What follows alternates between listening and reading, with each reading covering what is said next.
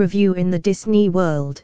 There is one source of information revered and trusted above all others the unofficial guide to Walt Disney World.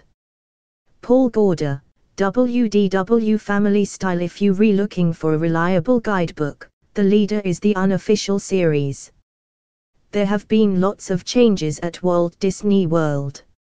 Here is what is new in the 2019 book Detailed planning tips for the new Star Wars Galaxy's Edge land at Disney's Hollywood Studios, including ride descriptions, touring plans, and dining options in the new land review of the Mickey and Minnie's Runaway Railway ride at Disney's Hollywood Studios. The latest about the Disney's Riviera Resort and the new luxury tower at Disney's Coronado Springs Resort. Details about the new gondola-style system that will connect the International Gateway at Epcot and Disney's Hollywood Studios with Art of Animation, Pop Century, Caribbean Beach Resort and the newly announced DVC Riviera Resort. For more info and special discounts please click the link below.